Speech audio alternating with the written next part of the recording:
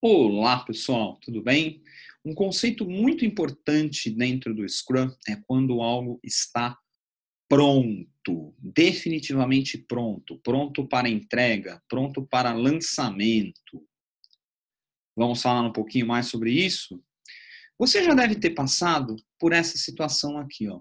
Você fala com o seu product owner ou o seu cliente que está pronto, só falta testar. E geralmente ele pensa isso aqui, ó. Xiii, lá vem bomba.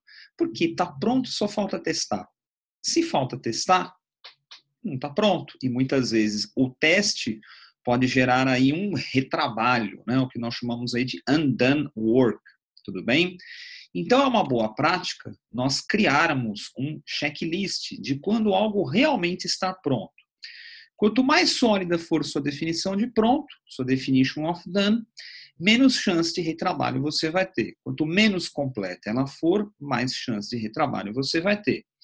Então, podemos considerar a revisão do design, código completo, refatorado dentro dos padrões, com comentários, checado no repositório de código, inspecionado, podemos considerar como um bom pronto.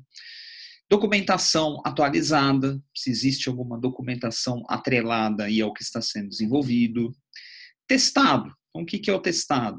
Teste unitário, teste, teste de integração, teste de regressão, teste de plataforma, teste de linguagem, que teste você quiser colocar, tá?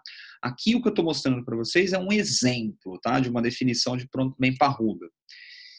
Zero defeitos, bug zero, hashtag bug zero, teste de aceitação do cliente e em produção. Então, muitas vezes, o pronto é realmente quando ele está na produção.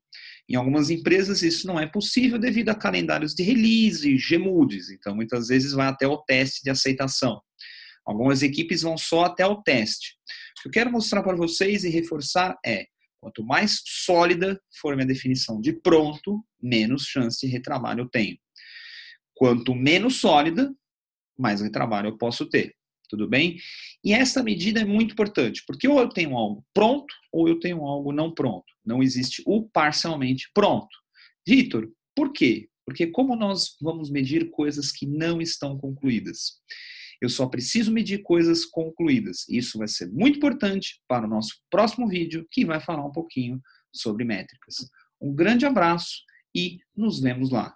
Até mais.